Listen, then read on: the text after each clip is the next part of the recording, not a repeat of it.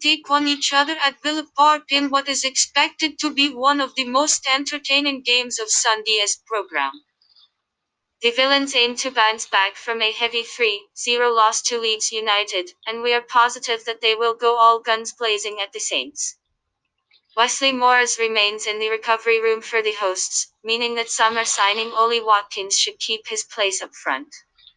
Southampton, on the other hand, recorded a routine 2-0 win over Everton at the weekend to climb to the sixth position in the standings.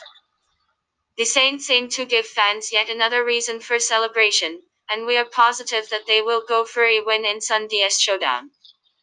Given Aston Villa's attacking potential, we believe that punters can